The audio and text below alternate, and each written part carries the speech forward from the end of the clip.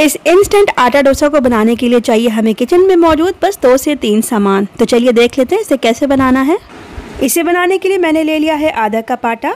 इसके बाद यह है एक चौथाई कप सूजी। नमक लेंगे टेस्ट के हिसाब से। और इसमें एक कप पानी डालकर इसे घोल लेंगे और इसे ढक कर रख देंगे साइड में 10 मिनट के लिए ताकि सूजी अच्छी तरह से फूल जाए। इस बीच हम एक मज़ेदार सी नारियल की चटनी बना के तैयार कर लेंगे। चटनी बनाने के लिए मैंने 50 ग्राम नारियल ले ली है और इसके साथ ही है ये एक चौथाई कप भुने हुए मूंगफली के दाने। इसके साथ ही दो से तीन हरी मिर्च और एक इंच अदरक का टुकड़ा भी ले लेना है। एक टेबल स्पून दही और नमक लेंगे टेस्ट के हिसाब से। अब इस चटनी को हमें पीस लेना है। यहाँ पर हमारी चटनी बिल्कुल तैयार है। आप चाहे तो सरसों, हरी मिर्च और करी पत्ता से तड़का लगा सकते हैं। यहाँ पर 10 मिनट हो चुके हैं। सूजी अच्छी तरह से फूल गई है। अब हम इसमें डाल देंगे बचे हुए इंग्रेडिएंट।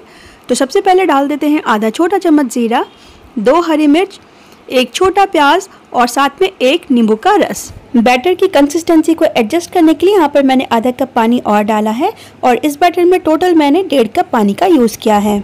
अब बस इसे मिक्स कर लेंगे और एक तवे को गर्म करके उसे ऑयल से ग्रीस कर लेंगे। आप डोसे के बैटर को तवे पर डालेंगे थोड़ा सा तेल डालेंगे चारों तरफ़ और इसे लो हीट पर अच्छी तरह से पका लेंगे। और यहाँ पर डोसा तवे से अलग हो गया है बैक साइड पे बहुत ही अच्छा सा कलर आ गया है, इसका मतलब है हमारा जो डोसा है वो बनकर बिल्कुल तैयार है। इस गर्मा गर्म डोसे को नारियल चटनी या फिर अपनी पसंद की किसी भी चटनी के साथ इंजॉय करें।